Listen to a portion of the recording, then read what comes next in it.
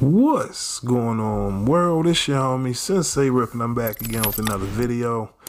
Listen, man, your boy Kanye out here wilding again. For those who may not know, man, about an hour ago, Kanye made a tweet uh, basically saying that he caught Chris Paul with his now ex-wife. That's right, y'all. For those who may have missed it, check it out yourself. The tweet says, let's break one last window before we get out of here. I caught this guy with Kim.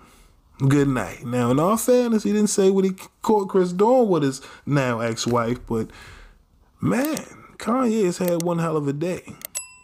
The man already started off on one when he showed up on Alex Jones, getting whatever smoke off his chest. Uh, he spoke on a lot of things, but I wouldn't know because I didn't watch it.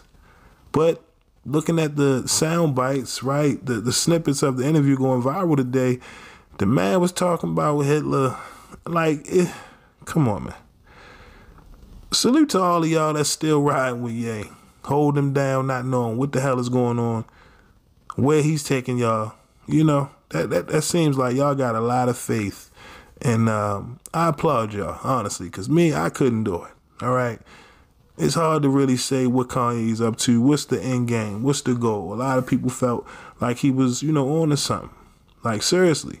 But now it just seems like he's all over the place, and I'll be the first to admit to say I, I don't understand. You know, I'm I'm like, you know what, Kanye, go go sit down somewhere, put the phone down, because right now this is looking embarrassing. Are you trying to get Kim back? You know, because going about it like this ain't gonna work. Putting Chris Paul on blast for what? Why? Why do we know? Why do we need to know that? This is this is the point I'm trying to make. Why are you going out here starting fires? For what?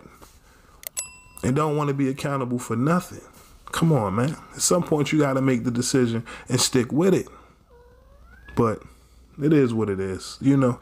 Y'all let me know what's your thoughts on Kanye putting Chris Paul on blast, uh, letting the world know that he caught Chris with his now ex-wife, man.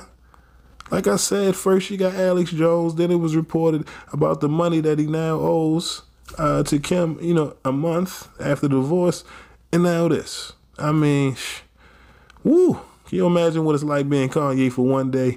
Let me know your thoughts down in the comment section below. But that's all I got for y'all today. My name is Sensei Rip. Till next time, peace. And Kanye, go sit your ass down.